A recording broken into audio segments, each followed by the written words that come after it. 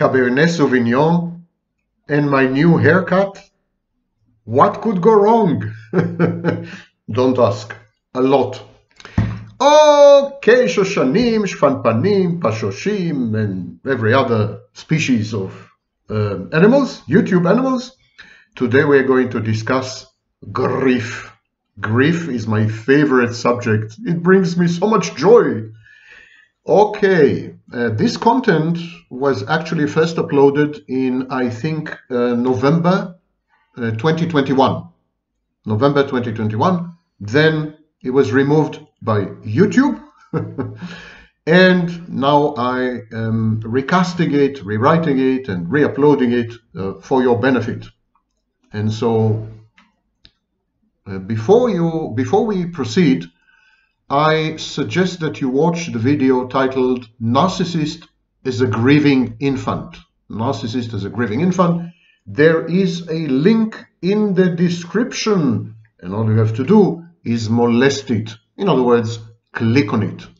In the video titled Narcissist as a Grieving Infant, I expound on a new concept, a new clinical entity, prolonged grief disorder.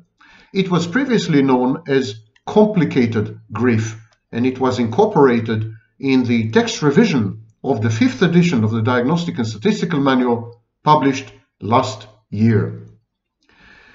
So, complicated grief or prolonged grief disorder, PGD for, for short, is the inability to move on once the grieving or mourning process has started. Elisabeth Kubler-Ross, who was a Swiss-American psychologist, in 1968 and 1969 described five stages of grief. These have been now augmented to six. So there are six stages of grief. And what happens is people get stuck in one of these stages. There's anger, there's denial, depression, acceptance, etc., etc. And people get stuck in one of these phases and they just can't move on. They can't seem to be able to move on. They keep ruminating. They keep obsessing. They're stuck, for example, in the anger or rage stage and they can't outgrow it and somehow accept the loss. They deny the loss, actually. In prolonged grief disorder, there's a denial of the loss, the loss of a loved one, the loss of a workplace. Because prolonged grief, prolonged grief doesn't have to be about a relationship. It can be about losing your job. It can be about moving to another place, relocating. You could grieve your hometown. You can grieve a period in your life, nostalgia. You can grieve your family of origin. You can even grieve a fantasy, something that is about to happen in the future and will never happen. So grief that is fossilized, that is ossified, grief that never goes away, grief that is nagging and knowing, that feeling that the loss is there to stay, that it is all consuming, it's all pervasive, and it's never ever going to let you go. There's a lot of catastrophizing involved. It's like telling yourself, I'm going to be stuck in this forever. It's a swamp, it's quicksand, and I am being sucked into the bottom. There's no way for me to extricate myself. Now, prolonged grief normally uh, goes with depression, with anxiety, and with dysfunctions, other dysfunctions, mental, physical. And so all of us, all of us had experienced at least one episode of prolonged grief. The technical definition is this. Grief that lasts longer than one year is pathological. Something's wrong with it. It shouldn't be this way. We should be able to overcome any imaginable and conceivable loss in one year's time. Now, when I say overcome, I don't mean forget. I don't mean forget, but I do mean, for example, forgive. I do mean, for example, move on. I do mean, for example, socialize, date, work, develop new hobbies, travel around the world, cultivate a garden. I do mean expanding the horizons of your life. Grief involves a phenomenon which is known as constriction, a constricted life. And so the test of whether you have exited your grief, whether you have put your grief behind you, the test is is your life constricted? Are you stuck in one location? Are you doing the same thing over and over again? Are you unable to find pleasure and interest in anything? Anhedonia. And so, if the answers to these questions are yes, then you may well be facing prolonged grief disorder. Um, and so, it's nothing unusual. It's pathological, but pretty common actually. Even narcissists um, go through prolonged grief, as I will describe um, a bit later. Of course, the definition of prolonged grief disorder is arbitrary. Like, why 12 months? Why not, I know, 11? Why not 15.3? I mean, why 12?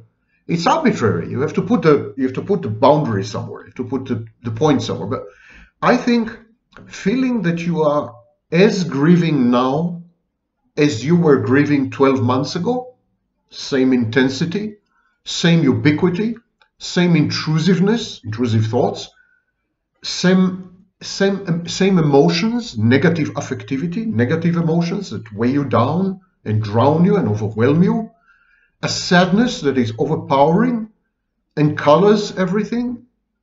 Uh, everything you do is imbued with this with this tinge, um, depression, a feeling that you don't want to go on with life, even in the extreme, uh, suicidal ideation, anxiety, uh, which, and, and all these are as mighty, as powerful, as strong, as intense as they were 12 months ago.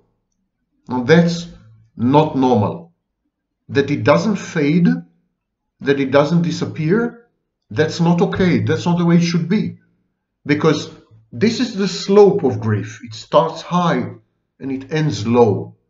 Grief transforms into a memory, a sad memory for sure, but a memory all the same. And when it fails to do so, something is seriously wrong. When you grieve as if the loss had happened yesterday, every single day, day in and day out, night in and night out because there are intrusive dreams. Uh, when your grief imbues everything, permeates everything, colors everything, it gradually becomes a straitjacket. It becomes an ideology, an organizing principle. It helps you to make sense of yourself, your behavior, the world.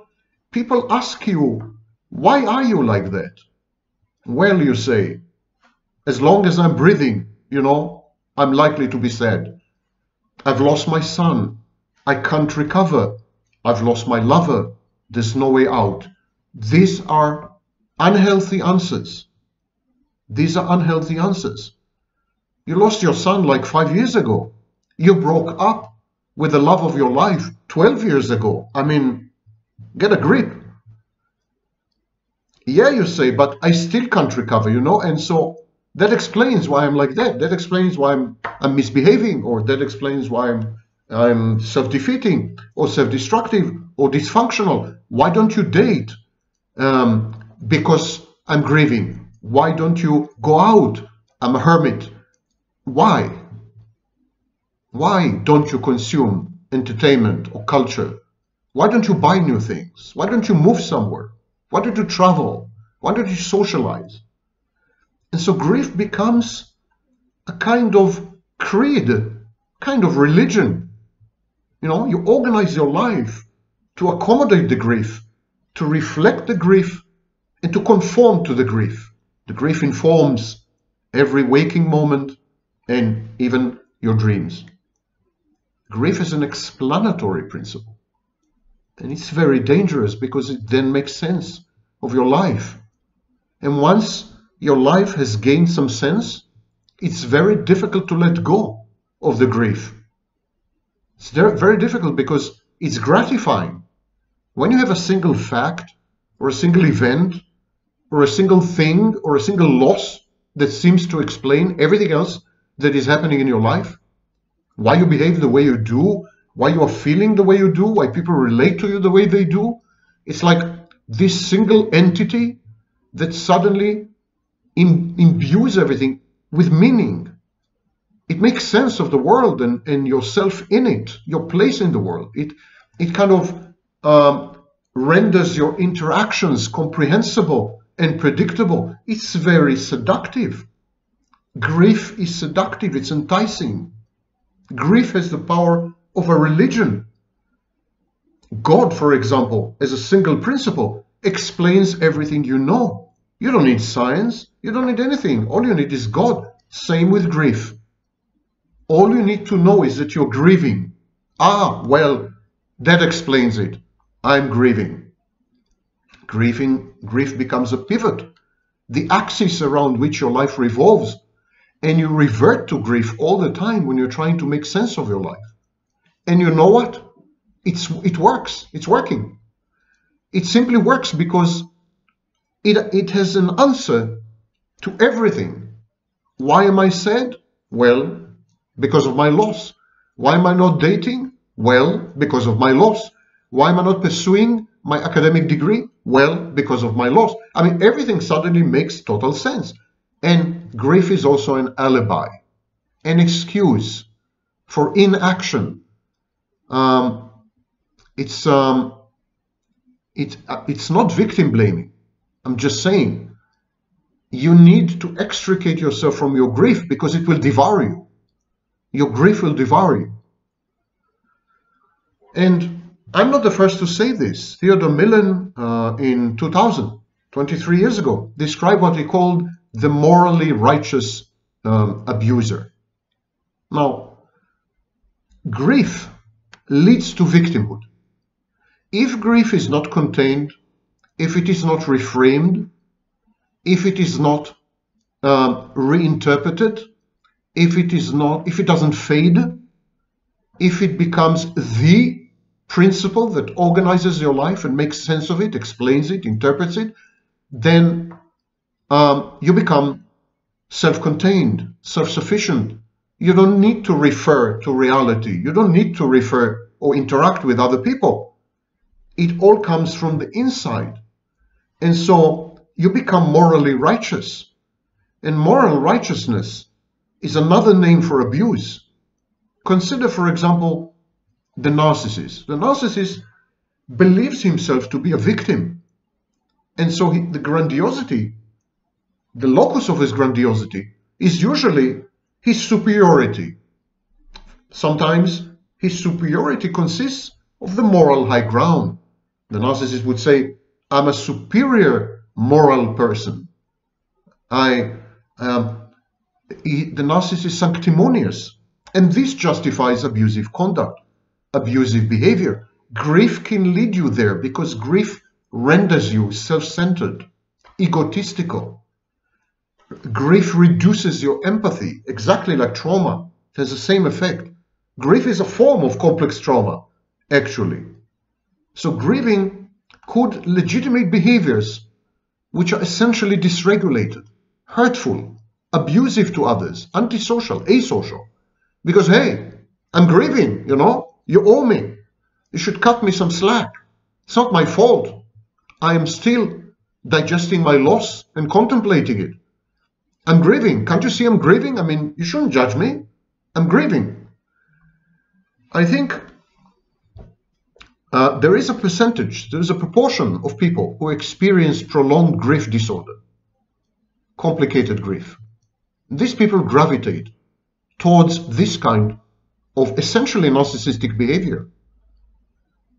Grief legitimizes. It's an explanatory principle. It's an excuse. It's self-justifying. So like, why am I'm behaving like this? Why am I misbehaving? Because I'm grieving.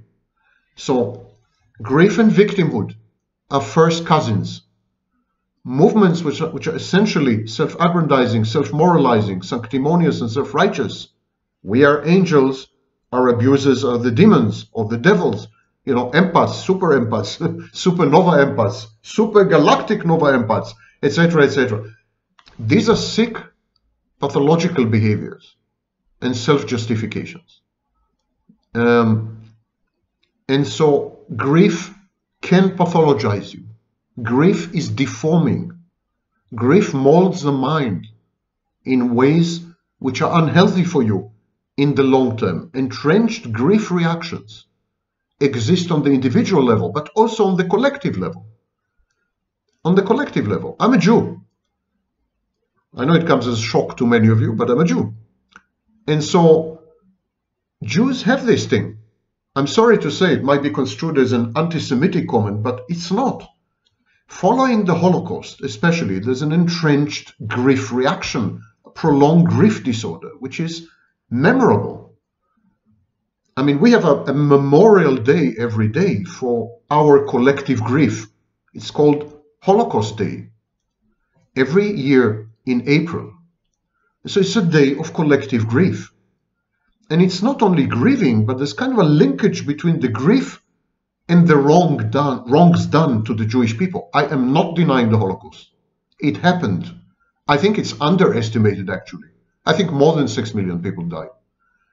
And of course, the Jewish people over the last 2,000 years at least, until the state of Israel had been established, has suffered a lot, has been wronged egregiously beyond possibly uh, most other nations. So these atrocities, these horrible things did happen.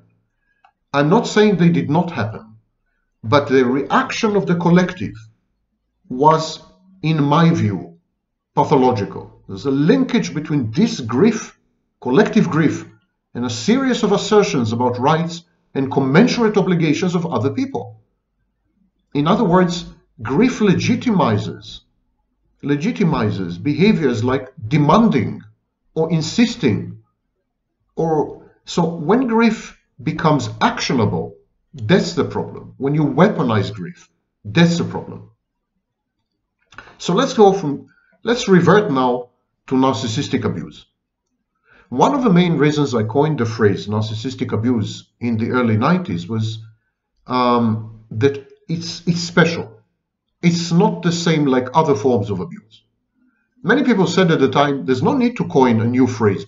I mean, why, why, why do you need, do you need to have a specialized subtype of abuse? Why not just say abuse?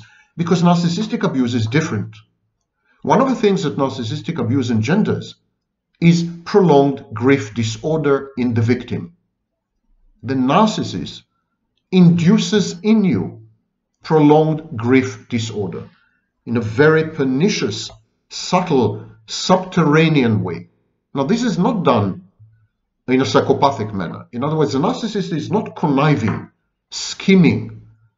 He's not steeped in penumbral or occult or Machiavellian machinations. That's the psychopath. But the narcissist is a predator. The behaviors of the narcissist are totally reflexive they're automated. They are in some part unconscious. They flow naturally. The narcissist does what he does the way a virus does what he does. The narcissist infects your mind, entrains it, penetrates it, and leaves its residue inside your mind for a long period of time. The way a virus infects a cell and co-opts it into manufacturing additional viruses. There's no thinking involved. There's no scheming. There's no cunning. There's nothing there. I mean, people tend to glamorize the narcissist by rendering the narcissist some kind of supervillain. Academia is complicit in it to some extent because academia introduced the, the concept of Machiavellianism. But narcissists, as distinct from psychopaths, are not really Machiavellian. They're a-holes. they do what they do because that's who they are. They're predators the same way lions eat antelopes. What can you do? Antelopes are much cuter than lions. And yet, yet antelopes don't eat lions. Lions eat antelopes. That's the way it is. Narcissist engender prolonged grief disorder in you. And they do it in four ways. So, I'm going to use the male gender pronouns. Please don't give me a hard time. 50% of all people diagnosed with narcissistic personality disorder nowadays are women. So yeah, women are taking over. I think shortly there will be more women narcissists than, than male narcissists. I'm using he because that's used to be the literary convention when I was growing up. So whatever I'm, whatever I'm about to say applies to female narcissists as well.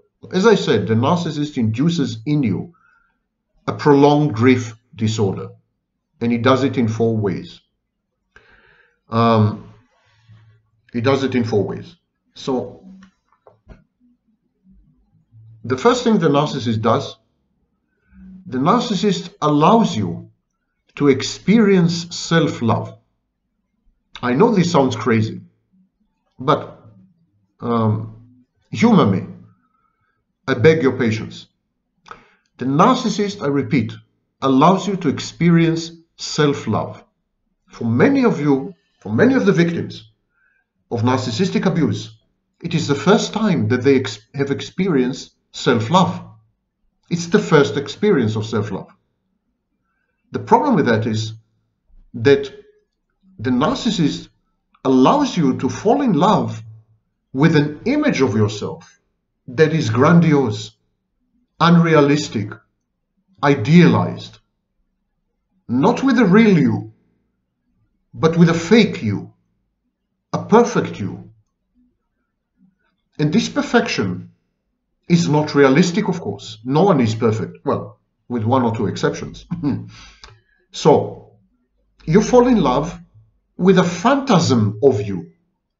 In a way, with a fantasy of you you fall in love with a fantastic figment inside the narcissist's mind that represents you, an internal object, and in a way an introject that is you, an avatar of you. And the narcissist holds the key. He can lock the door to this internal space, to this hall of mirrors at any minute. He gives you access to the hall of mirrors. And as you walk, you see yourself replicated a thousand times over. Beautiful, intelligent, drop dead gorgeous, amazing, unprecedented. Who can resist? You find yourself irresistible in this hall of mirrors. But access is granted by the narcissist at his whim and beck and call. He is the sole decision maker and he can lock you out of the hall of mirrors. This is known as intermittent reinforcement.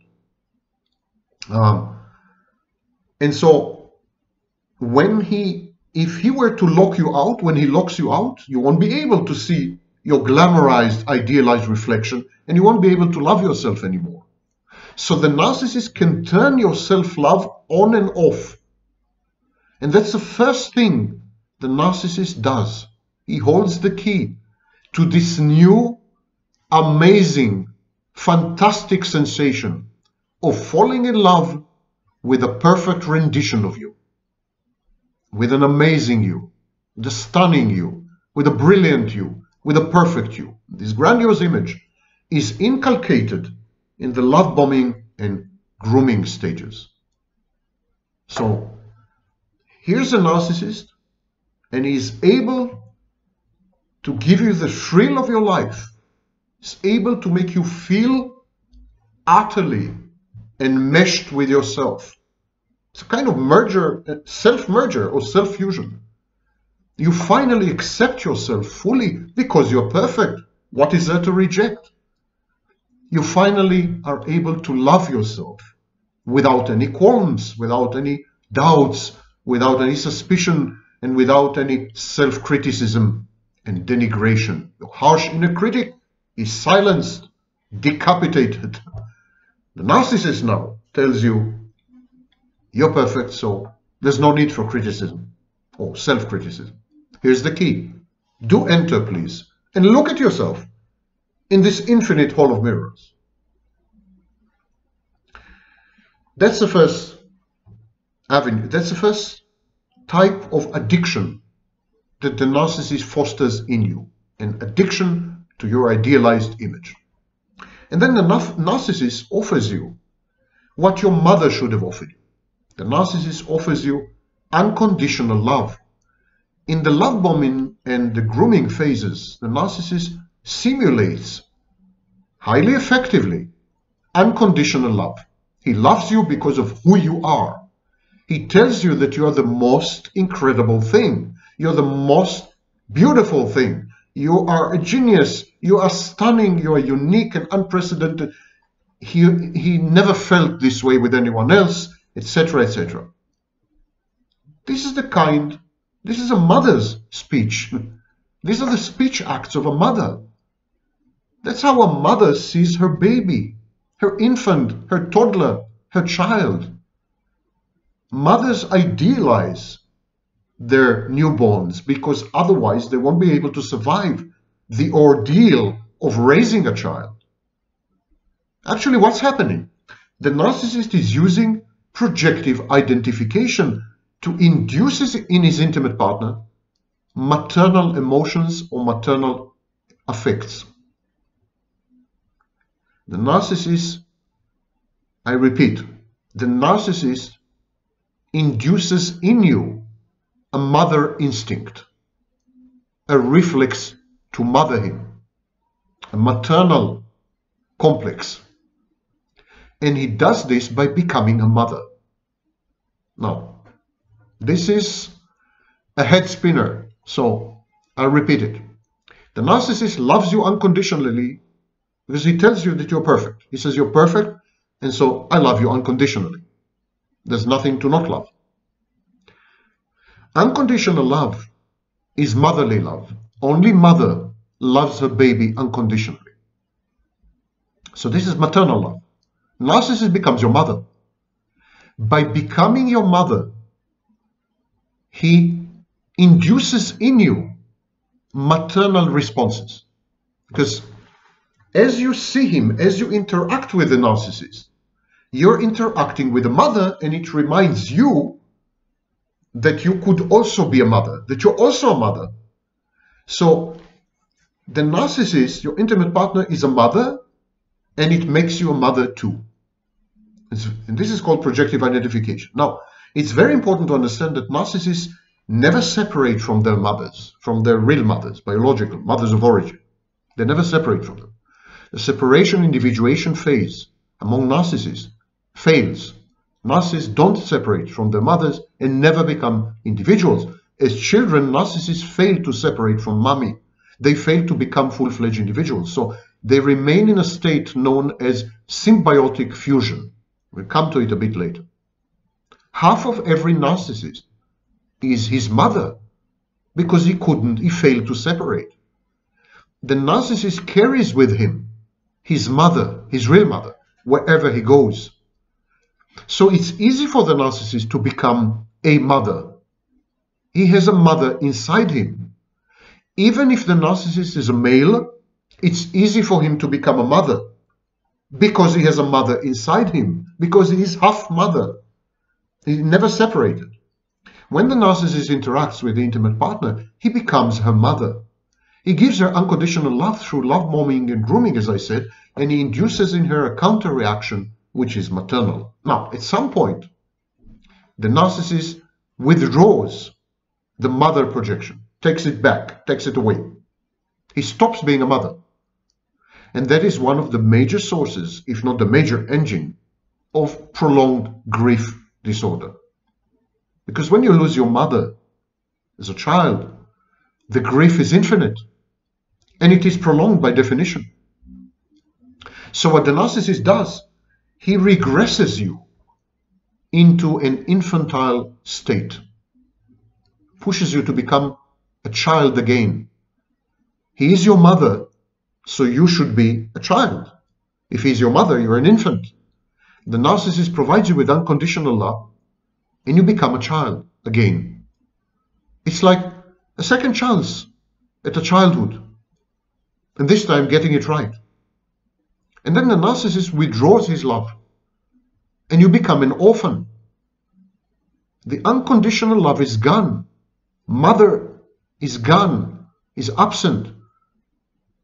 And you are the only mother now on the scene.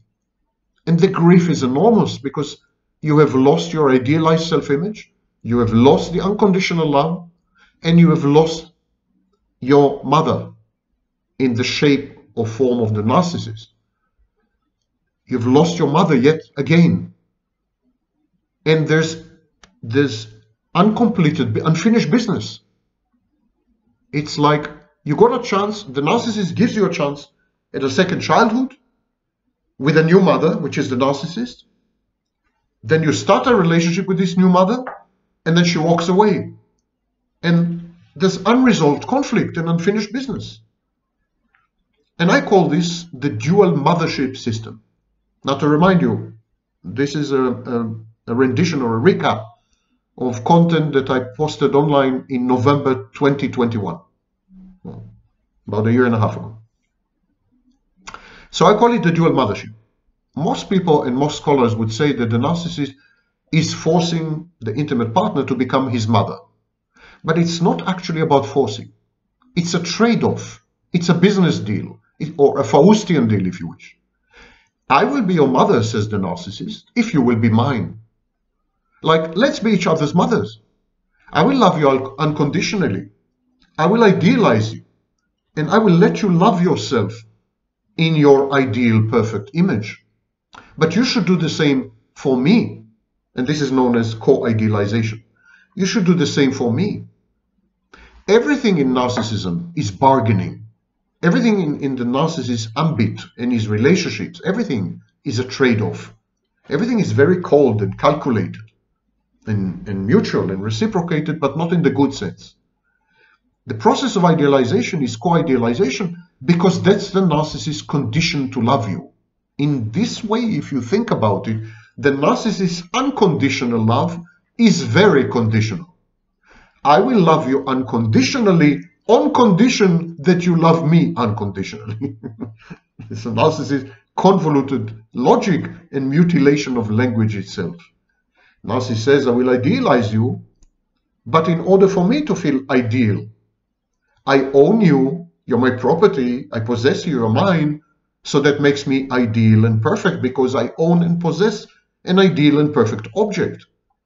So here you have it, the dual mothership. The narcissist says to you, I'm going to love you as your mother should have loved you. I'm going to love you unconditionally. I'm going to love you this way because you're amazing, you're a genius, you're incredible, you're a beautiful, most beautiful woman on earth, you're unprecedented, this, that, this and that. I've never seen anyone like you. So I'm going to love you unconditionally. I'm going to love you as a mother.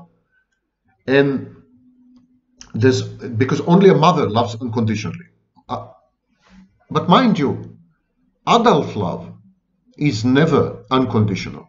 Adult love is conditional. Only a mother loves unconditionally, and love bombing and grooming pretend to convey and to afford and to provide unconditional love. So, love bombing and grooming convey the message I'm a mother because the love they offer or love offered during these phases is supposedly and purportedly unconditional. And only a mother loves unconditionally. Hence, the narcissist slides into the role of a mother. Narcissist says to you, I'm going to love you as a mother if you love me as a mother. So the narcissist lets you see yourself through his eyes. Narcissist says, I will let you be seen through the through my eyes, which are the eyes of a mother. I will let you see yourself through my eyes, which are the eyes of a mother, so that you can finally love yourself and accept yourself through me, through my agency, as your mother. Love yourself through this second chance at having a mother. By the way, there are religious equivalents. When people say, we love, we love through the eyes of God. We love ourselves the same way God sees us. You know, Jesus sees you, God sees you. Because God is supposed to love you infinitely and unconditionally. And that way you can love you infinitely and unconditionally because you can love yourself through God's love. So The narcissist normally assumes the role of, go of God. He strikes the same deal with you. The same deal. You can love yourself through my love for you, which is maternal, a mother's love. But at some point he withdraws everything. He withdraws access to your idealized image because he starts to devalue you. He withdraws his maternal love, his so-called unconditional love. And then, of course, you grieve. You grieve these losses. There's a grief, grief reaction. And it's a prolonged grief because what child can overcome the loss of an infinitely, unconditionally loving mother?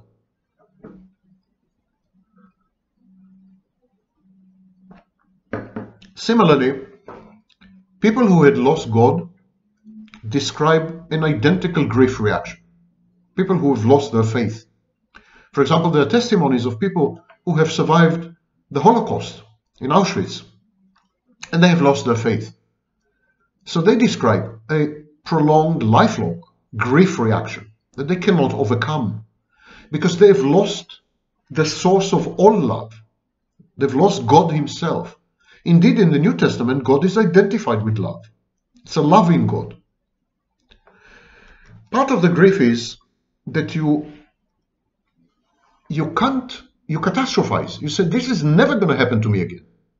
This is never going to happen to me again because um, you see the whole situation as a child. Remember, you have been infantilized. You've been regressed. The narcissist deal was, I'm going to be your mother if you agree to become a child. So you see everything through, through the eyes of a child. And to be a child is once in a lifetime experience. You have only one mother. You have only one mother. So once in a lifetime experience is a use it or lose it experience. And you have the same sensation, the same feeling with the narcissist. You say to yourself, having lost the narcissist, this is never going to happen to me again. I'm never going to find someone like him again. No one is ever going to love me again the way my narcissist loved me. This was so unique. And there's this sense of loss. It's all permeating. It's like you were expelled from the Garden of Eden, from paradise. And you don't think you're go ever going to be readmitted to this garden, you know? The next thing is narcissist exports his grief. If you watch, I, I mentioned at the beginning of this video, when we were all a lot younger, I asked you to watch uh, a, video about the narcissist um, as a grieving infant. So I explained there that narcissism is actually a post-traumatic condition coupled with prolonged grief. The narcissist is in a state, a constant state of prolonged grief, because the narcissist as a child has been had been denied. Many things had been denied to the narcissist, and the narcissist himself as a child had been denied. Unconditional love had been withheld. Acceptance had been avoided. The ability to become an individual was never given. And so on and so on. So narcissists have a grief reaction. They mourn. The narcissist mourns who he could have been. He grieves over who, who he would have been had he been given the chance. Narcissists are imbued, oozing grief. And so what they do, they export the grief to you. They kind of dump the grief on you. And this is the toxic emanation that people feel. People misidentify this with abuse. Abuse is actually easy to survive, easy to withstand. Proper, outright abuse is you see it coming and you can build defenses and resistances. I don't know, you go somewhere. Someone punches in the face, someone punches you in the face, someone insults you. You know how to cope with it. Usually there's no lasting effect. But what is difficult is when you are immersed in negativity and negative affectivity. What is difficult is when you are drowning in negative emotions such as grief. It's toxic, it's, it's poisonous, and it's difficult to cleanse yourself. So in religion, we have these cleansing rituals. When you come across evil, and you go through exorcism, I don't know what. The narcissist um, tries to immerse you and drown you, kind of baptize you with his grief. And so there's a sense of having failed the narcissist, having disappointed mother, because remember, the narcissist is your mother, having disappointed mother, having let mother down.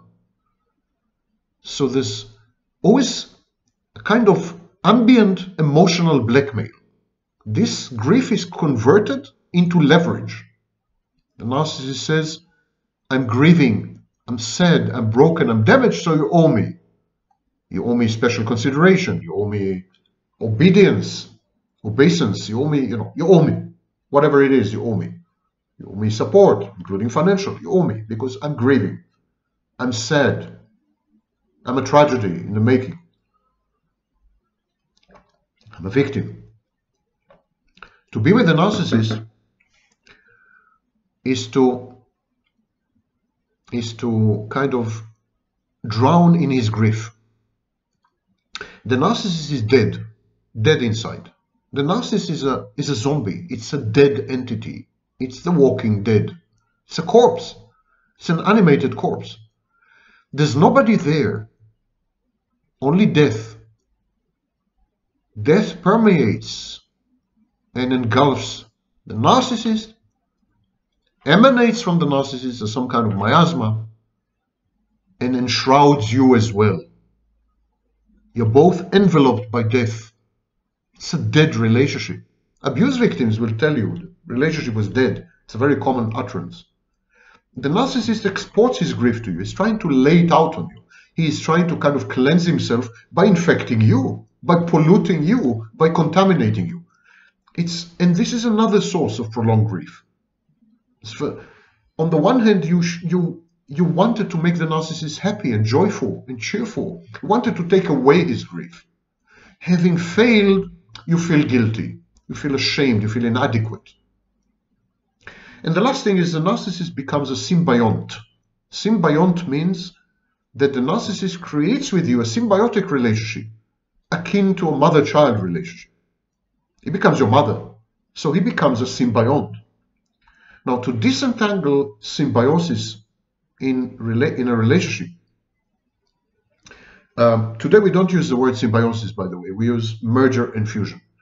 To disentangle this, it's the same, it's exact equivalent of amputation.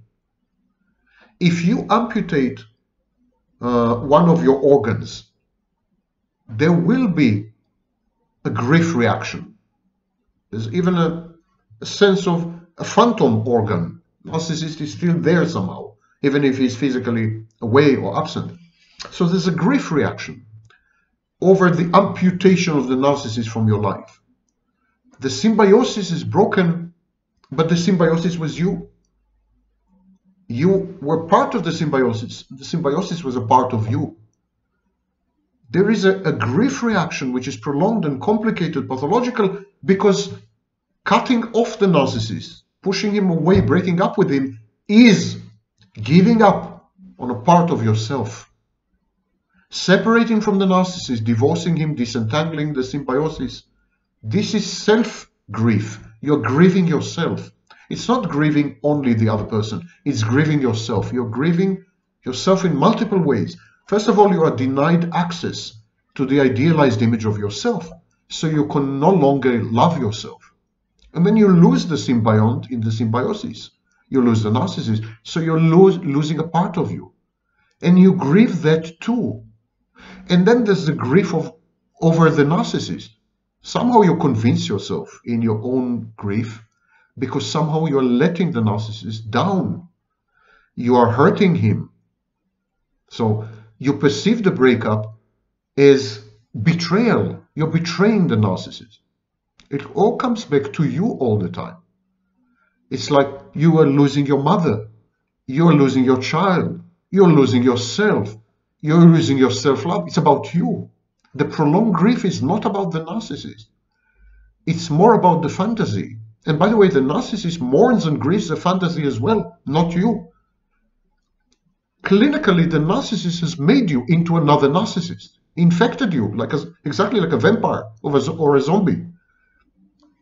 The narcissist stops mothering you, but you want to continue to mother him. to you he's a child. There's a feeling that you're missing out on something or on someone or that you're losing something or someone. You're just giving and, and not taking and not receiving because you continue to be a mother. So what the narcissist succeeds to do, he makes you mourn yourself. He makes you grieve over yourself. I think the core issue is that in typical healthy grief, we mourn losses which are external to us. We mourn a loved one. We mourn the loss of a possession or an object or a job. And if you are Jewish, you mourn the loss of money. So, healthy mourning, healthy grieving has to do with an external, an object that is external to you. But in prolonged grief disorder, I think the grief is over yourself, not over something external, but over yourself. I don't believe that prolonged grief is possible without a big component of self grief, grief over oneself. And I think this is the missing element in the DSM's definition. It says that uh, grieving anything, any loss for longer than one year is pathological. But I think they're missing the point. It's not possible to grieve anything external for longer than one year if you are not at the same time grieving a part of yourself, grieving yourself. And this is the power of the narcissist over you. Narcissist makes you mourn yourself because you are no longer. You've been hijacked by the narcissist. He transformed you. You've been made to love an image of yourself which is not you. You have been mothered by an unreal mother. Things have happened to you which are surrealistic, and so you're mourning this dream, this fantasy, part of you that has never been true. And there's no end to it because it's never been true. How can you put an end to self grief? If you terminate the grief, you admit that you are no more. Think about it for a minute. Think about it for a minute. It's not easy to digest. When we grieve, we grieve the loss of something. When we stop grieving, it means that we have accepted the loss of this something. When grieving stops, acceptance sets in. When we accept the loss, we stop grieving. If I lose a loved one, an external loved one, with whom I've had a healthy relationship, uh, it hurts. I cry. I'm sad, right. But at some point I accept that he or she is no more no longer in my life. But what do you do if you've lost yourself? How can you stop the mourning? If you stop the mourning, it means that you have accepted the loss of yourself, that you have given up on yourself. It's self defeating. You can't stop grieving and you can't stop mourning as long as you are grieving and mourning over yourself. There is someone who is doing the grieving and mourning. And this someone is you. The minute you stop grieving and mourning, it means you have accepted the loss of you. You have accepted that you are lost, that you're gone, that you're no more. And that is the power of narcissistic abuse. It doesn't allow you to terminate the grief because you can't accept the loss of you. You can never extricate yourself from this. And this is the missing link in the DSM's definition. All prolonged grief includes a strong element, if not a dominant element, of grieving over oneself. So grief is interminable because the minute you stop grieving, you had accepted the loss of you. The minute you stop grieving, you have accepted that you are no more. Prolonged grief must include this element, this element of self-grief. There's no other explanation. So to end the grief, you accept a loss. You accept that something is gone. Accept that something is no more. But how can you accept the loss of you? How can you say, I am no more?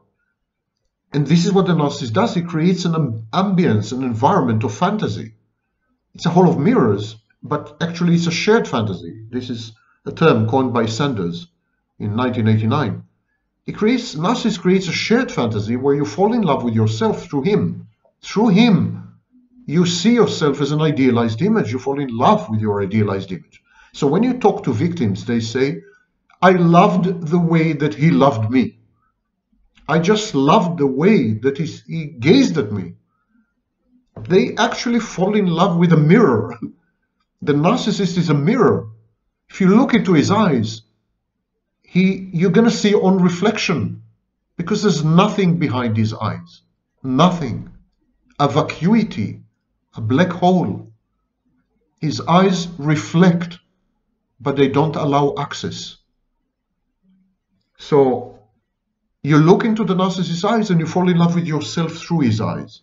And then he becomes your mother and he gives you unconditional love. And it's again about you. It's not about him, it's about you.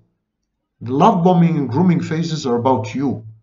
The narcissist gives in these phases. He gives you unconditional love. He doesn't take, he just gives. And he gives a great simulation of a mother. And again, it's about you. And then he becomes a symbiont. He creates a symbiosis, and again, it's about you. Because in the symbiosis, you get nourishment from the symbiosis. So the narcissist creates an environment which is everything to you. That's the irony. People totally are totally getting it wrong. They think the narcissist creates an environment that's about him, about himself. That's not true. That's not true. The power of a narcissist is that he creates an environment that's 100% that's 100% about you, not about him.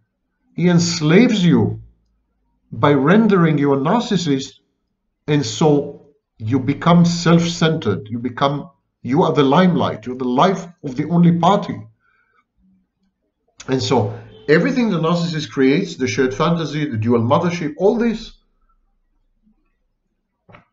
is intended to get you addicted to him he's your drug of choice but consuming drugs is about you it's your habit and again it's all about you Let's all remind ourselves of a fact. Narcissism is a childhood artifact. If I regress, if the narcissist regresses you to infancy, you automatically becomes a, become a narcissist because children are narcissistic. If, he, if the narcissist infantilizes you, makes you a child again, he also makes you a narcissist again. End of story. There's no child who is not narcissistic or actually clinically a narcissist. So if the narcissist becomes your mother, if he gives you unconditional love, if he makes you fall in love with an idealized image of yourself, the way a mother does, he's regressing you to childhood, is infantilizing you, is creating a dependence in you.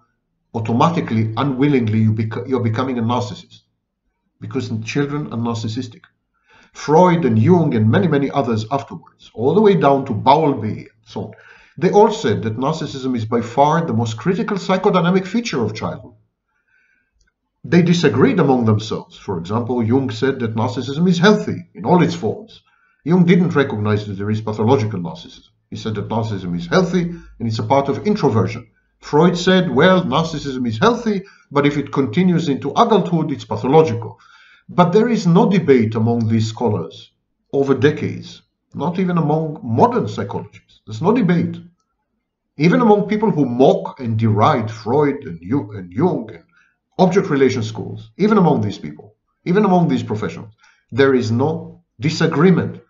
Narcissism is a critical feature of childhood, development, personal growth, maturation, transition from self to others. so if the narcissist makes you a prisoner of war, if he puts you in a civilian um, penitentiary, um, puts you in a boot camp, he regresses you, um, you become dependent, um, kind of a combination patient and child. So in all these situations, the minute you're dependent, your locus of control is externalized. At that moment, you automatically become a narcissist. You can't help it. The narcissist does this to you. He pushes you back. He regresses you to infancy in nice ways, smoothly, with sweet talk, he makes you fall in love with yourself as a mother would. He becomes your mother for a while during grooming and love bombing, and you become a child, and you allow yourself to become a child because it's an oceanic feeling. It's a wonderful feeling. Victims describe that the relationship with the narcissist is unique. It's technicolor. It's amazing. Everything else is black and white. It's unprecedented.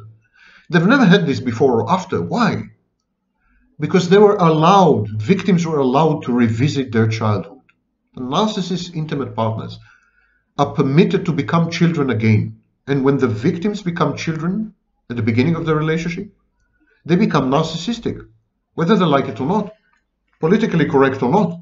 The minute they are pushed to become a child, they become narcissists. So narcissism infects you. This is why I keep saying that narcissism is contagious. Narcissism today is no longer a clinical entity only. It's a morality play of good versus evil, you know, Manichaean, a Manichaean battle of, of uh, cosmic forces. It's stupid because that's splitting defense. If you say I'm all good and the narcissist is all bad, that's a narcissistic defense, primitive, infantile defense known as splitting. It's prime narcissistic behavior. That's what narcissists do. They split. That's what borderlines do. They split. Splitting is a is primitive. It's a type of it's very typical of grandiose narcissistic structures. So ironically, the very victims, self-styled empaths and supergalactic hypernova empaths and so on, they're splitting all the time. And they are by clinical definition, they're being narcissistic. They're acting the way narcissists do. And that's exactly what the narcissist does to his victims. He renders them narcissistic. And then when he walks away, when he's out of their lives, they remain narcissistic. Unless they subject themselves to therapy or become self aware or extricate themselves from the victimhood stance by force. We no longer use the word symbiosis, as I told you, we use the word merger fusion. But symbiosis has been studied in the 50s and 60s and 70s. And um, if you want to go, if you want to learn more about symbiosis, you need to read the writings by Mahler, M-A-H-L-E-R, Masterson, Parness, P-A-R-N-E-S-S, and so on and so forth. These are the scholars who studied symbiosis. It's pretty stunning. Symbiosis is an amazing concept and the narcissist triggers it in its full power, in its full color. Symbiosis is a rainbow. Narcissist makes it come alive. It's a bit like the Wizard of Oz behind the machine, you know. It triggers it triggers this cascade of processes which are entombed in childhood. After childhood, you put many things in a vault, in a safe and you never access it. You never touch these things again. And the narcissist opens the vault. He cracks the safe. He activates or reactivates the symbiosis. And in this way, he creates dependency in you. Everyone goes through a symbiotic phase which lasts in healthy conditions until age 18 months. Everyone goes through this phase. Healthy people, relatively healthy people, they, and people end the symbiotic phase with a process called separation individuation.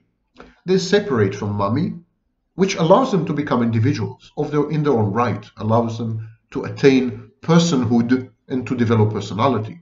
With a narcissist, this process is disrupted. Separation individuation is disrupted. With codependence and borderlines, this process is disrupted.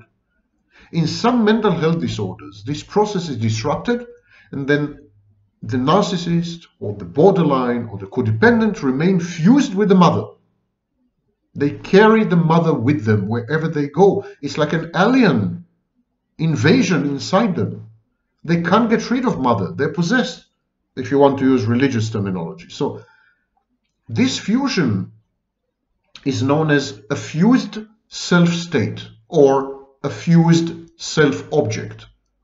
The fused self-object simply means that you are not fully yourself. There is a substantial element of you that is mother, and that you carry this element with you for life, lifelong, lifespan thing. The fused self-object is the core of the narcissist being. It's the core. And the narcissist brings the self-object with him to any relationship.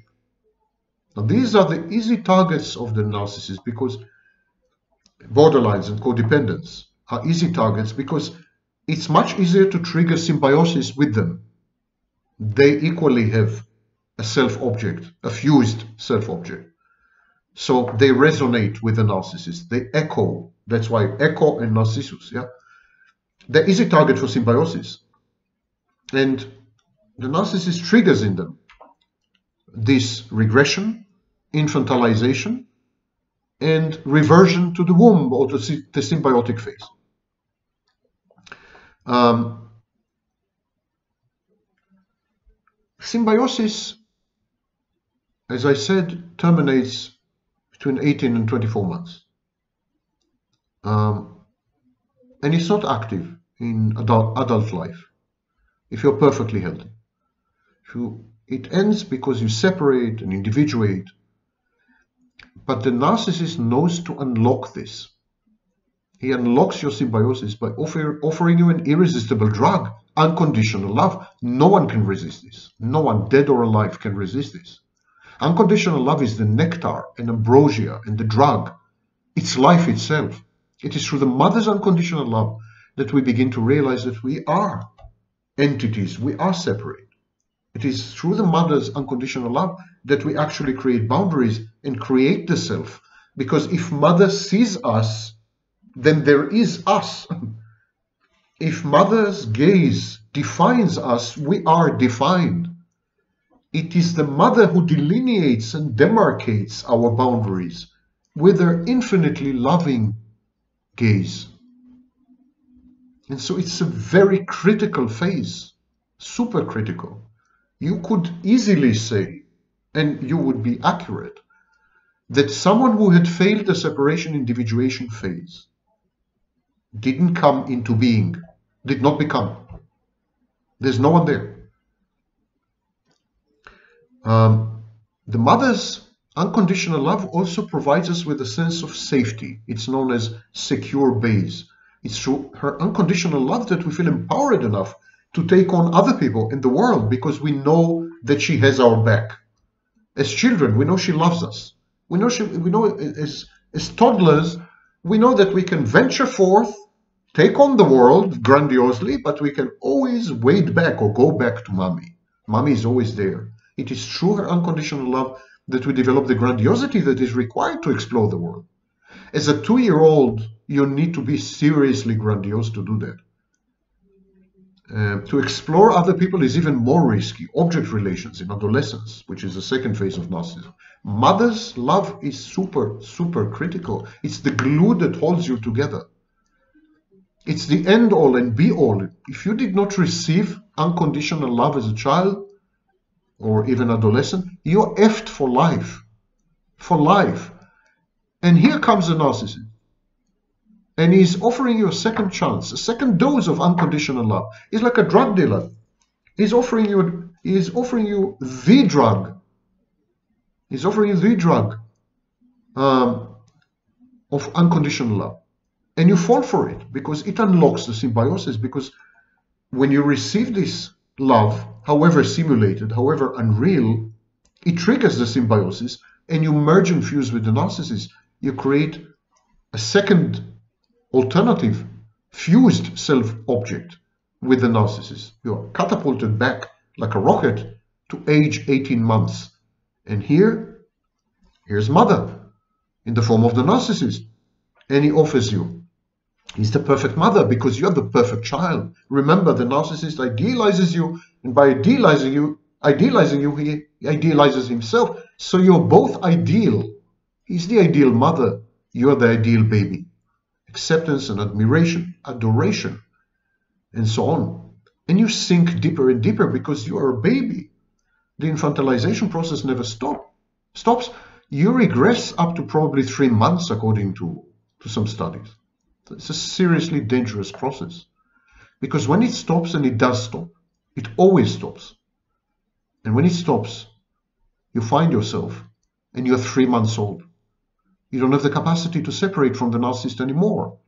You're in a symbiosis called shared fantasy, so you can't separate anymore. You can't even grieve properly, effectively, because if you were to give up on the whole thing, you would be giving up on yourself because you have become the narcissist. Your self-objects are fused.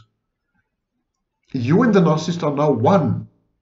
You're one object. If you give up on the narcissist, you break up with the narcissist, you automatically are giving up on yourself.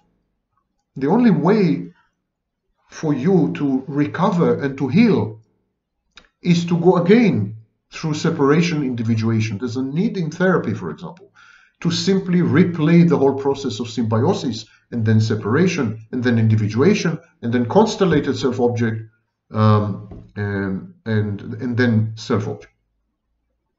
That is me, that is I, that is not I, boundaries, external, internal, the, the whole thing. It's like you have to grow up again. You have to go through the whole process from zero.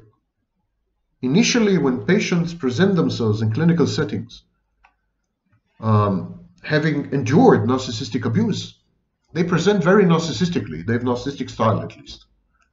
Because the, the victim carries the narcissist with her the same way the narcissist carries his mother with him.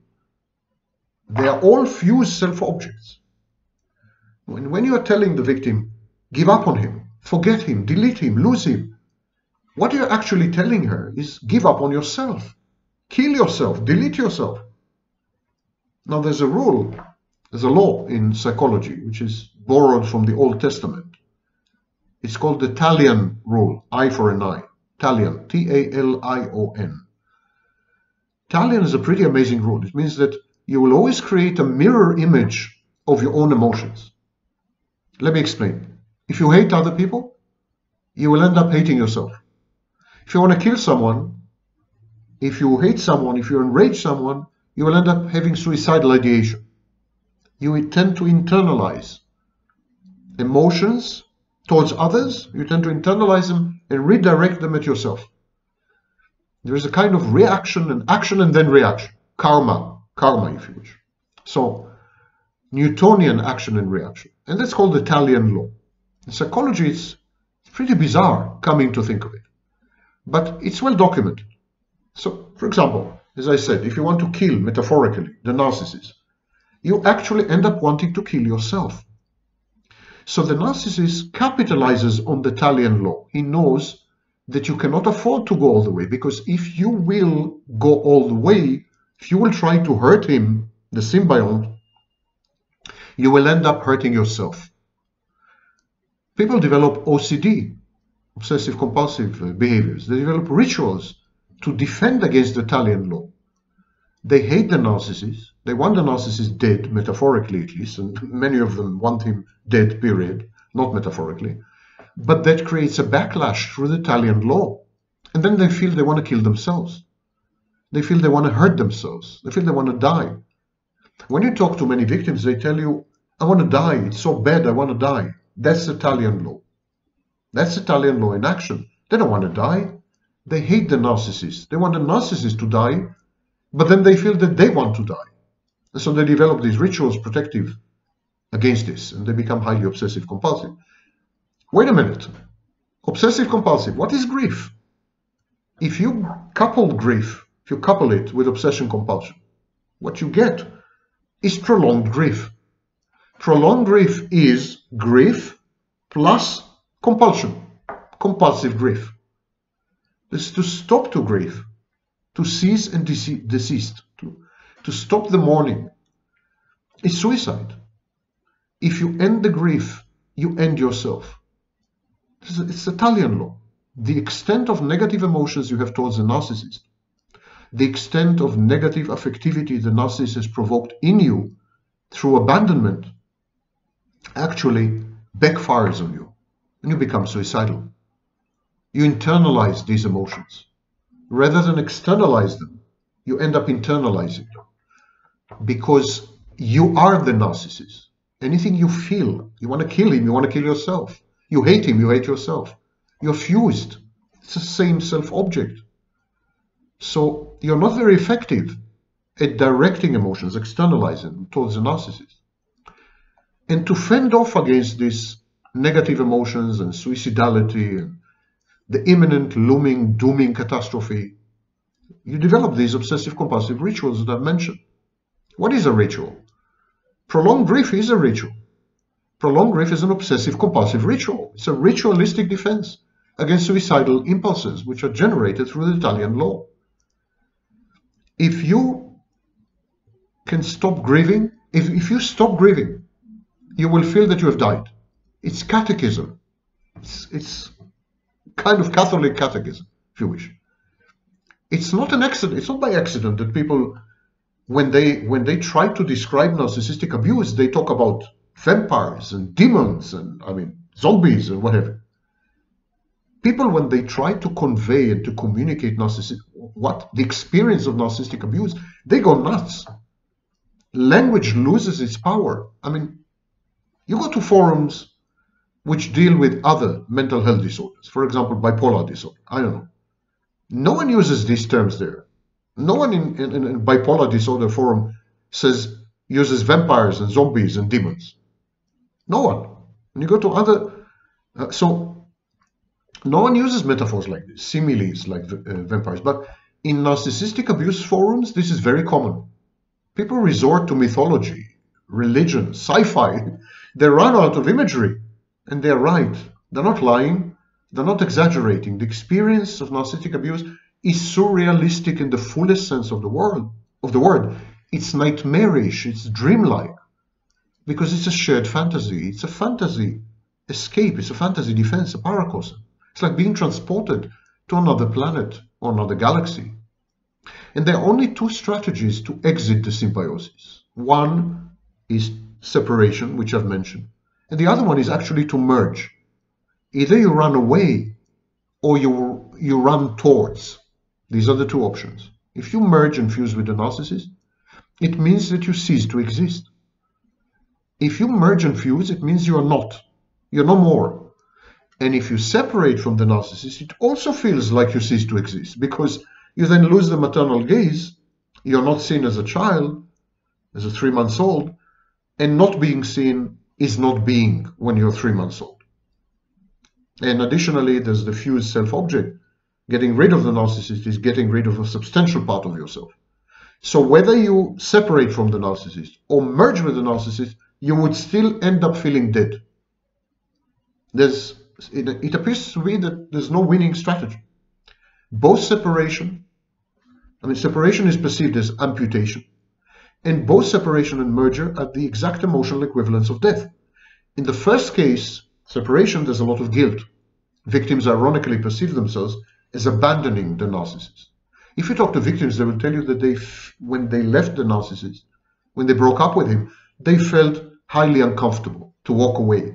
They felt, many of them felt like they were abandoning a child or a parent figure. Separation is perceived as betrayal, creates uh, enormous shame and guilt. But the alternative, merger in fusion or fusional symbiosis, also creates negative emotions because it requires self-sacrifice, self-immolation, it requires self-betrayal. When we betray ourselves, we develop depression. We don't feel good with it.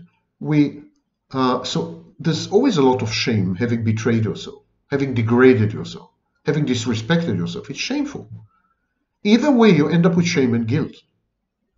Masterson, I think in 1972, he said that a relation, a symbiotic relationship in adulthood, is a real rendezvous with death.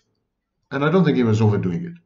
Those are his words. So what happens is when you separate, you're left only with bad introjects. You're left only with bad internal objects.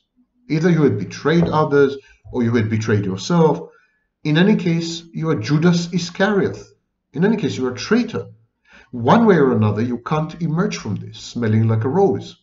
It is, and this is the source of the shame and the guilt the narcissist goes through exactly the same process with his mother, by the way. Narcissism is grounded in shame. It's a, reaction, a compensatory reaction to shame. Narcissism, Masterson said that the child is ashamed, is shamed by the parents. There's a huge, enormous, all-pervasive reservoir of shame in the narcissist. Narcissism um, compensates for this shame with a grandiose reaction. Austin says, I'm not ashamed, I'm not guilty, I'm superhuman. And this is, of course, a child reaction when he's ashamed. I said before that narcissism creates emotional artifacts. Those of you who, who've had medical education and medical imaging, we have many images, many outcomes that are not real. Shadows, echoes, they're not real. They're easily misinterpreted as disease processes. They're interpreted wrongly. And we call these imaging artifacts. So X-ray, MRI, uh, CT, you have imaging artifacts. They're very misleading because they look like real things, but they're not. The narcissist, narcissist creed is emotional artifacts. Your shame is not real. It's an artifact. Your guilt is not real because you're ashamed and you feel guilty for something that had never existed. The paracosm, the shared fantasy, is not real. Your idealized image was never real. The mother figure which a narcissist had enacted for you was not real. His unconditional love was not real. Your reaction to his unconditional love was not real. In short, nothing was real. Nothing was real, and I think this is what's killing the victim. The victims. Victims suddenly realized that nothing, but I mean nothing, was real. There's not a single element in relationships with narcissists that is real. Not the cognitions, not the emotions, not the effects, not the behaviors, not the traits, not the perceptions, not the information. Nothing is real.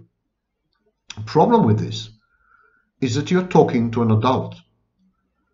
What you've just communicated, when, when we try to communicate as therapists, uh, I'm not a therapist, I'm a um, counselor, but therapists, when they try to communicate with victims they and with, with narcissists, they treat the two parts of the dyad, victim and narcissist, they treat them as adults, adults. So, uh, but they're not adults. The narcissist is two years old. His victim is three months old. These are children. These are infants. These are not adults. And trying to communicate with the victim as an adult um, is, is no good the regression is catastrophic under the influence of the narcissist. The symbiosis is total. The immersion is complete. Extricating the victim from this requires a process of growing up. Before you can have any meaningful dialogue with the victim, the victim needs to grow up. The message will not be absorbed.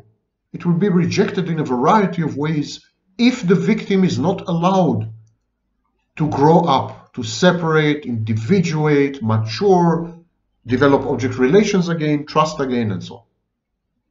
If you try to communicate with the victim from the get-go as if the victim were an adult, your message will be rejected, passive-aggressive. Message, the victim will say, you're right, it wasn't really, um, I know that, but then they would go on to continue to act as, as if it were real.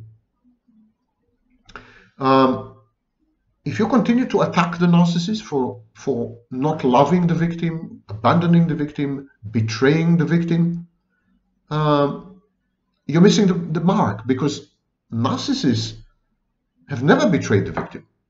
You cannot betray something that is not real. Narcissists never lie to you. They never gaslight you. They never do anything to you because it's all a video game to them. They're not embedded in reality. They may confabulate, but whatever they do is just a game. The fantasy, shared fantasy is a game. The relationship is a game. And the other person is a baby and also just an object, not real. Narcissist doesn't perceive his intimate partner as real. It's not real in any sense. That's why these objects out there, also known as um, insignificant others or intimate partners, they're interchangeable, they're fungible, because they're not real. They're like, you know, coins or... So, would you would you complain about the, the events inside a video game? Oh, this guy just shot me, it's horrible. You know, it's a game. You can't complain. Narcissists internally perceive all this as a video game. They have this perception that it's a movie, kind of movie they walk away unscathed and unperturbed because game over, you know. So when you talk to a child, these messages which absolutely capture the essence are wasted. The child has an opportunity to become an adult again, exit the symbiosis, and then maybe you can talk to them. Now, exiting the symbiosis is not about telling the patient that nothing was real. Nothing was real, now exit. what do you mean nothing was real, now exit? The victim had experienced it as real. You need to break the fused self-object. Your patient is fused with the narcissist. You need to break this. And the only way to break the self-object is to force the patient, the victim, to separate and individuate. And the only way to do this is to actually practically separate. So the first step is a rigid regimen of absenting the narcissist, not even mentioning him for a prescribed period of time, walking away physically, of course. Distance, if you're in the same apartment, move. If you're in the same city, relocate. If you work in the same company, I don't know, resign. Physical distance is critical, a fir critical first step, but only a first step. As the next step is to eradicate the narcissist introject in your mind.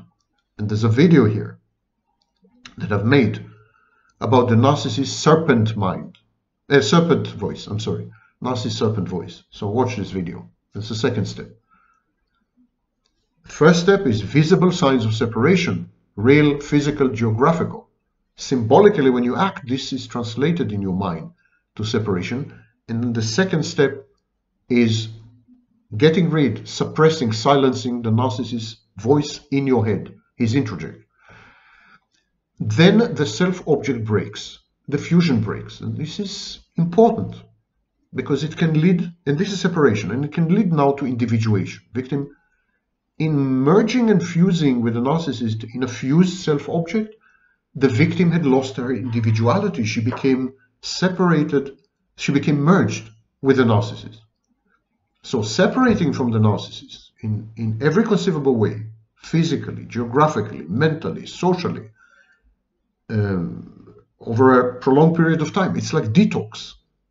She's now ready to become an individual, which is another process. And there are techniques developed since the time of Heinz Kohut, how to individuate patients. Once individuation is complete, the message comes into play. Then you can talk to the victim. Now you are faced with an adult.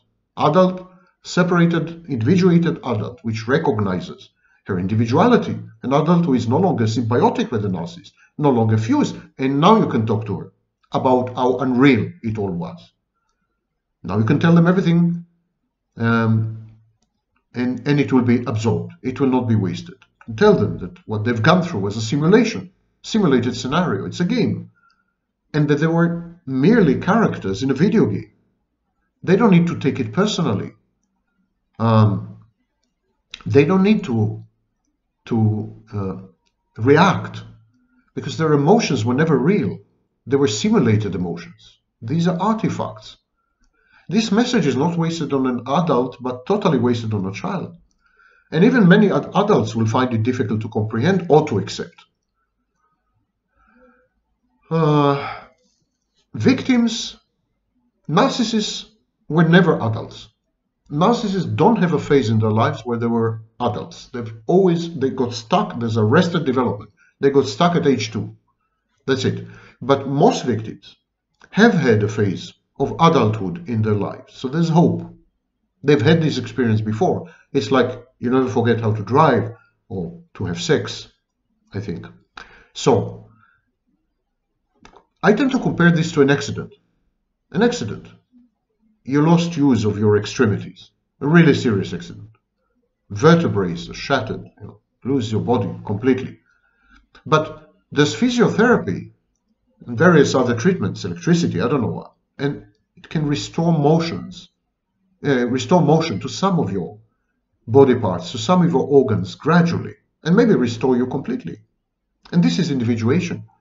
You, you have had the skill, you were individuated before so you used to do adult before, but the narcissist took it away from you, disabled that part, deactivated it, and you need to reboot, you need to reactivate.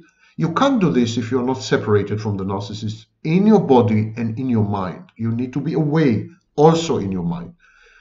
You need to never mention the narcissist in any context, directly or indirectly, not think of him if you can.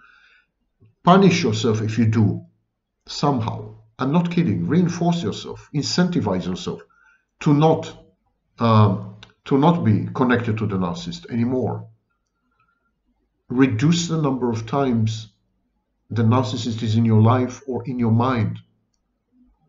So you need to give yourself reinforcement, negative and positive, to structure a regimen that will help you to separate. Once you're separated, you can individuate, and we will discuss individuation in, in a future video. So there's individuation therapy. Technically, now you're an adult after you've separated. And then you can confront the facts. The facts that what you had experienced was, was a dream, was not real.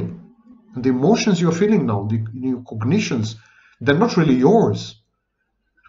They're, they're not real in this sense. You, you can't take ownership of them. They emanate from an introject, a foreign body inside your mind. The relationship with narcissists are not the only case where we enter the simulated zone. You know, they're not the only case where we confuse fantasy and reality. Relationships with narcissists are definitely not the only case where we resonate. There's a resonance, emotional and cognitive resonance with an outside source. The resonance is so powerful that we tend to misattribute it, the voice, to ourselves. And this is called attribution error, attribution bias. It's not the only case. For example, if you go to a political rally, I mean, just watch online the Nazi political rallies in Nuremberg. You know, you see this in action. It's a simulated zone. It's a dream. It's a fantasy. But people become one. There are studies of crowd psychology and mob psychology. You know, rock concerts. In a good rock concert, there are, there are many situations where you lose yourself into a simulation, and you begin to perceive the fantasy and everything that's happening is real. Even when you watch a movie, there's a lot of dissociation going on. That's why you jump when things happen in a horror movie. So many of our experiences are like that because we are storytellers. We inhabit imaginary spaces. We are made of dreams. We are the only we are the only type of organism that sacrifices its life for fiction, not for anything real not for food, not to raise our offspring, not for a female. We sacrifice our lives for fiction, utter, unmitigated, total fiction. For example, a nation. A nation is a fictitious concoction. There's no such thing in reality. There's no reality of a nation. it's an agreement. It's a contract between people. It's abstract. It's fiction. And yet Hundreds of millions of people died, sacrificed their lives for a nation. So don't be too hard on yourself. That's what the narcissist does. He is a great spinner of yarns. He's a great storyteller. He charms and enchants via fables, as Bruno Bettelheim had observed. And the advantage of the narcissist, he is the story. He is nothing but a narrative. he is a piece of fiction. So it's easy for him to believe in his own story. He doesn't feel that he is conning you or deceiving you. He believes that he is offering you access to a privileged universe of magic, enchantment, and charm. He invites you in and he thinks you should be very grateful for it. Because it's a once in a lifetime experience. It's the mother of all Disneylands, you know. And his world is stunning, his fantasy is transcendental. It's almost supernatural in his mind. And here you are, the one and only chosen. You're chosen. It's an irresistible temptation to be selected. And here you are, one out of 8 billion. And if you spend six months or six days or six weeks with a narcissist, and then he dumps you, you should, you should still be grateful. Even if he had devalued and abused you, you should be grateful. Because you've just had the six months or six days or six weeks of your life. And because another 8 billion people didn't have this blessing, didn't have this chance. The narcissist creates perfect simulated environments replete with cognitions, emotions, behaviors, traits, expectations, narratives, laws, and so on. And we have a name for that. It's called a cult. Many people fall prey to cults. When we discuss individuations, we can also discuss deprogramming tools because the individuation of a victim of narcissistic abuse involves deprogramming cult messaging. There's a lot of literature and practice on how to deprogram cult members. Cults. What is a cult? A cult is a simulated space where there's a narrative that has extremely little to do with reality. Cults engender in their members emotional and cognitive artifacts. The members of cults resonate with each other and, above all, with the leader. And so, when I'll give you an example which was discovered two years ago. If you're heterosexual and you date a woman and you click, you hit it off, it goes great. Your hearts synchronize totally. Even if your heartbeats, the rhythms are naturally very different, you have fast heartbeat, tachycardia, she has slow heartbeat, bradycardia. Even then, both your hearts start to beat, to beat to the same rhythm. They synchronize. Your skin conductance synchronizes. Skin conductance in men is very different to skin conductance in women, and yet it synchronizes. And finally, the amount of sweat secreted by your body is synchronized. The minute you click, within a split second, your bodies become one. And that's a scientific fact. Human beings, people, we like to think of ourselves as individuals. Individuals, divisible, atoms, totally self-sufficient, totally unrelated, totally in control. That is a mother of all nonsense in psychology, and I blame psychology for this nonsensical concept. We are not individuals. We don't have a self. We have self-states and so on, but we are colonies we're like, in some ways, like ants. We're like bees. We are absolute colonies. We resonate like colonies. We work together as colonies. We synchronize biological factors and performance the way members of colonies do. We affect each other up to 100 meters away by emitting a molecule called HEPA molecule. It conveys information about us. The minute you meet another person, you become one. And the narcissist knows this viscerally, instinctually, reflexively, and he takes advantage of it. Instinctually, not cunningly, but he does take advantage of it as a predator does. And then he synchronizes not only his body with yours, he synchronizes your minds. He melds with you. It's mind meld.